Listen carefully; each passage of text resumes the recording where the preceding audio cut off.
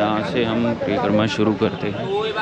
युग में शंकर और त्रेता युग में हनुमान और द्वापर में कृष्ण के परम सखा मधुमंगल और कलयुग में नाम पड़ा पूछरी के लौटा जा भाई देख सकते हो इधर ही हमारी बड़ी परिक्रमा जो है वो ख़त्म हो गई है। मंदिर ये है और अभी थोड़ा पास में जाकर जो भी गिरिराज जी की परिक्रमा डंडौती करे आप उनकी परिक्रमा की साक्षी हाजिरी लेना। और पाँच किलोमीटर कंप्लीट होने के बाद हम आए हैं राधा कुंड पे। राधे राधे दोस्तों तो भाई हम अभी हैं गोवर्धन पर्वत और भाई अभी परिक्रमा चालू करेंगे। पीछे ये रास्ता है परिक्रमा का। कल रात को इधर आ गए थे। पहले गिरिराज जी के मंदिर के दर्शन करते हैं, उसके बाद फिर परिक्रमा चालू करेंगे। ये इधर भाई सामने गिरिराज जी का मंदिर है। ये बड़ी परिक्रमा और भाई यहाँ से परिक्रमा मार्ग शुरू हो जाता है अपना। अभी बाहर से मंदिर के दर्शन करवाते हैं आपको। कि भाई बड़ा प्यारा सा ही मंदिर है, बड़ा मंदिर है। तो अभी आपको दिखाते हैं चल के मंदिर ये है और अभी थोड़ा पास में जाकर ये मंदिर में एंट्री करने से पहले दोनों तरफ़ फूल वगैरह की दुकानें हैं, प्रसाद की दुकानें हैं। अभी इधर भाई यहाँ से मंदिर के दर्शन करते हैं और फिर हम अपनी परिक्रमा शुरू करेंगे। अभी भीड़ है, बहुत ज़्यादा देख सकते हो आप। ये देखो भाई। जय हो गिरिराज महाराज की। जय हो एक बार राधे राधे ज़रूर लिखना। सभी जी भाई अंदर, यहाँ से दर्शन कर लिए आपने और मैंने भी बाकी अंदर चल के अगर कोशिश हुई तो भाई अंदर के भी दर्शन करवाएँगे आपको। इधर भी वही पेड़े का प्रसाद ही चढ़ता है और यहाँ से हम अपनी परिक्रमा शुरू करेंगे। ये रहा। यहाँ से हम परिक्रमा शुरू करते हैं। राधे राधे राधे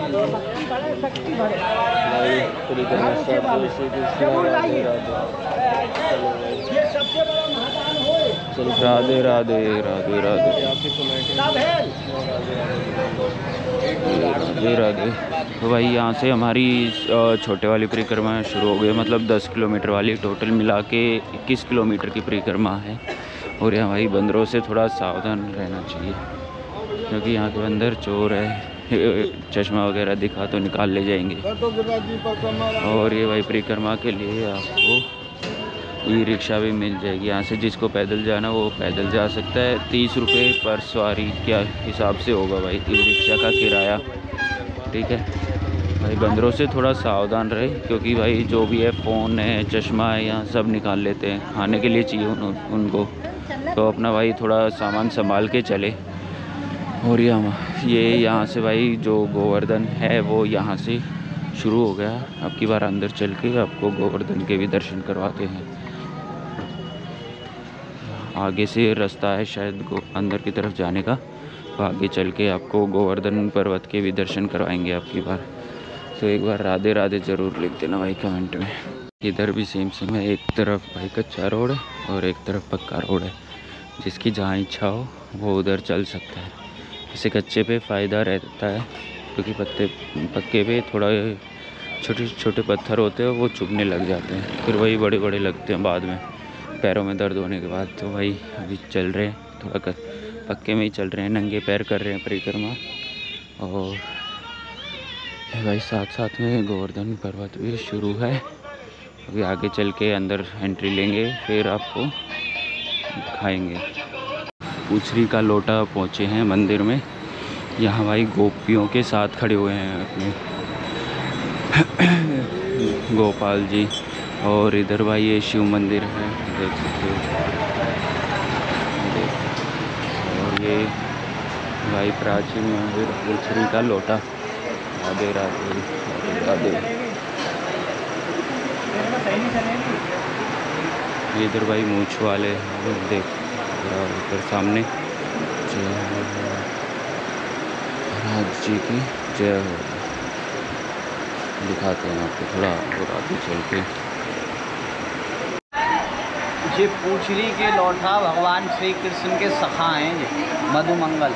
जब ठाकुर जी द्वारका गए हैं ना तो अपने सखा को इधर विराजमान करके गए, इनसे बोल के गए, मैं कल परसों लौट के आ रहा हूँ। जो भी गिरिराज जी की परिक्रमा डंडौती करे आप उनकी परिक्रमा की साक्षी हाजिरी लेना और मेरे लौटने पर मुझे बताना कौन सा भक्त किस भाव से आता है। उन्होंने बोला, भगवान, आप कल परसों लौट के आओगे और मुझे भूख प्यास लगी, मैं उठ के अन्यथा यहाँ से कहीं चला गया और आपका भक्त सीधा निकल गया। तो इसका दोष किसे लगेगा? कौन बताएगा आपको कौन आया, कौन गया? इसका तो पाप मुझे ही लगेगा। तो भगवान ने इन्हें वरदान दिया। भगवान ने इनसे बोला कि आज से आपको भूख प्यास नहीं सताएगी। कृष्ण लीला में मस्त रहोगे। अन्न खाए ना पानी पीवे जे कैसे पड़े से लौटा? धन्य धन्य रे तो पूछ रही के लौटा। लौटा बैठे राव में सबकी लिख लिख लें। लौटा बैठे राव में मतलब रास्ते में। सबकी लिख लिख लें। जैसी जाकी भावना फल बाकू वैसो ही दे। श्रीनाथ जी नाथ द्वारा जाते हैं ना श्रीनाथ जी में प्रथम भोग। इनका ही रखा जाता है। और मंगला आरती में जयकारा लगता है, जब मंगला दर्शन खुलते हैं, पूछरी के लौटा की हुक हुक प्यारे। भगवान के चारों युग के सखा हैं। सतयुग में शंकर और त्रेता युग में हनुमान। और द्रौपर में कृष्ण के परम सखा मधुमंगल। और कलयुग में नाम पड़ा पूछरी के लौटा। जैसे गोपी गोपी ढूँढने आई, जब भगवान द्वारका चले गए, इनको बता दी कि अरे सखी, भगवान का सखा बैठा है, इनसे पूछ। इनको पता होगा कि भगवान कहाँ गए हैं अपने दोस्त को बता के गए होंगे। वो कह रही अरे सकी तू पूछ। उम्र में जेठ समान थे वो दूसरी से कह रही अरे तू पूछ रही। अरे मैं ना पूछ रही सकी तू पूछ रही। ऐसे एक दूसरे को कह रही है तू पूछ रही तू पूछ रही। ऐसे नाम पड़ा है पूछ रही। और लौठा माने होता है पहलवान। ठाकुर जी ने इन्हीं से पहलवानी सीखी है। भगवान के सखा मधुमंगल। यहाँ गिरिराज जी के चरण हैं। लाल लंगोटा लाल ही सोटा। गिरिराज जी के चरण कमल पर बैठ के हाजिरी भरे बाबा पूछ रही के श्री गिरिराज घरण की जय। पूछरी के लौठा की। जय। जय जय श्री तो आपको पता चला कि ये पूछरी के लोटा नाम क्यों पड़ा? तो भाई ये उनके प्रिय खां हैं तो यहाँ बैठा के गए जब द्वारका गए थे। तो भाई अभी आगे चलते हैं और आगे आपको दिखाते हैं। यहाँ यहाँ से होके यहाँ भाई ये राधा रानी जी और भगवान श्री कृष्ण जी की का छोटा सा मंदिर देख सकते हो आप लड्डू गोपाल जी हैं और ये मंदिर राधे राधे राधे राधे।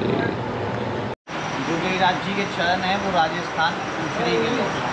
यहाँ जो गिरिराज जी के चरण हैं यहाँ से आगे जाओगे, गिरिराज जी की नाभि है।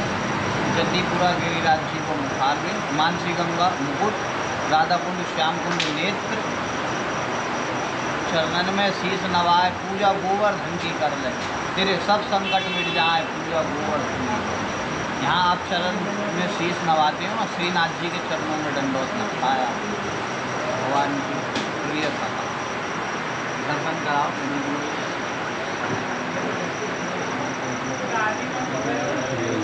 पूछरी के लोटा और ये सखा। यहाँ पैर हैं, आपको बताया है। ये भाई छोटा सा मंदिर है, बड़ा प्यारा सा है। और आपको भाई इसके बारे में बताया मैंने। मैंने पूछा है पंडित जी से, आपको बता दिया। और अभी भाई आगे चलते हैं। आधा जो छोटे वाली परिक्रमा दस किलोमीटर वाली, वो समझो कि आधी आधी से ज़्यादा हो ही गई है। ये भाई छः किलोमीटर पे पड़ता है। ठीक है, यहाँ से चार किलोमीटर और आगे जाके ये हमारी छोटे वाली परिक्रमा पूरी हो जाएगी। फिर उसके बाद बड़े वाली होगी ग्यारह किलोमीटर की। फिर वो करेंगे आगे चल के, आपको दिखा देंगे उधर। भाई देख सकते हो, इधर ही हमारी बड़ी परिक्रमा जो है, वो ख़त्म हो गई है। भाई ये इधर से बड़ा लंबा सफ़र था। यहाँ से अगर हम राइट साइड में जाते हैं तो भाई अ, क्या बोलते हैं दान घाटी मंदिर आ जाएगा। लेकिन हमें छोटी परिक्रमा करनी है वो उधर से है। बोर्ड दिखा बोर्ड जो उधर से है भाई छोटी परिक्रमा वो दस किलोमीटर की है। तो यहाँ से अपनी छोटे वाली परिक्रमा शुरू करते और अभी सिर्फ़ बड़े वाली में एक मंदिर पड़ा है। अभी यहाँ जो आएँगे घाट घाट आएँगे, सरोवर आएँगे, आपको सब कुछ दिखाते हुए चलेंगे। तो यहाँ से हमारी छोटे वाली परिक्रमा शुरू हो गई दस किलोमीटर की ये बोर्ड लगा हुआ है इधर। और थोड़ा मार्केट का एरिया है। यहाँ प्रसाद वरसाद की भी दुकानें हैं। यहाँ मार्केट हो ही गई, अच्छी खासी तो भाई, जूते, चप्पल और जो क्या बोलते हैं, परचून की दुकानें, ये सब दुकानें हैं इधर। तो भाई आगे चलते हैं और आपके दर्शन करवाते हैं, जो भी मिलेगा, कुंड होगा, सरोवर होगा, जो भी दिखेगा, आपके दर्शन करवाते हुए चलेंगे। भाई छोटे वाली परिक्रमा पे आए हैं, चार किलोमीटर आने के बाद आपको भाई ये मंदिर ठाकुर श्री श्री कृष्ण चैतन्य महाप्रभु जी का देख सकते हो भाई, ये मेन गेट है और ये पीछे मंदिर है। तो चलते हैं अंदर। और आपको अंदर चल के दिखाते हैं दर्शन करवाते हैं। ये देखो भाई दोनों गेट पे शेर है और यहाँ से अभी शायद मंदिर बंद होगा। हाँ भाई मंदिर बंद है ना अभी मंदिर? खुला है? अलाउड है कैमरा वगैरह अंदर? तो भाई अलाउड नहीं है तो बाहर बाहर से ही देख लो। तो यहीं से ही चलते हैं आके राधा कुंड की तरफ़। यहाँ से भाई 500 मीटर रह चुका है राधा कुंड और वहाँ चल के आपको राधा कुंड के दर्शन करवाते हैं। पाँच किलोमीटर कंप्लीट होने के बाद हम आए हैं राधा कुंड पे और यहाँ भाई भीड़ ब्याड़, भीड़ है थोड़ी।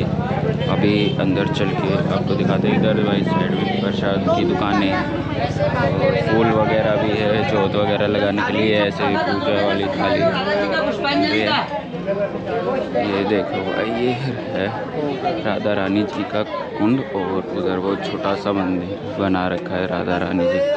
ये पूरा बड़ा कुंड है।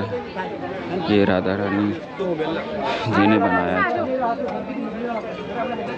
अगर आप यहाँ आके रुक रहे हो और आरती देखना चाहते हो तो भाई यहाँ आरती का टाइम सुबह छः बजे और शाम को सात बजे के आसपास होता है। वैसे बीच में अगर आप आरती करना चाहते हो तो आरती कर सकते हो, ये देखो। ये पूरा बड़ा कुंड है और उधर है राधा रानी जी का मंदिर। उनके साथ में उधर से आने का रास्ता है। मंदिर के दर्शन भी कर सकते हो आप इधर। और अभी चलते हैं बाहर। निकलते क्योंकि भीड़ बढ़ती जा रही है। फिर रास्ता नहीं मिलेगा। और फिर चलते हैं आगे की तरफ़। आगे देखते हैं शाम कुंड मिलेगा या फिर और कोई सा, और कौन सा श्री कृष्ण कुंड मिलेगा, कौन सा कुंड मिलेगा। देखते हैं और फिर आपको भी दिखाते हैं।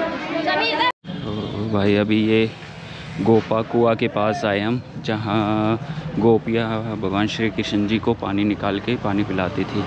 ये इधर से। जय हो कृष्ण। भगवान की जय हो। ये देख सकते हो ये भाई कम से कम वही कितना पुराना होगा साढ़े पाँच हज़ार साल पुराना।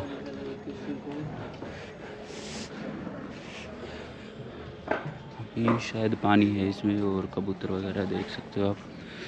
तो ये था भाई गोपा कुआ।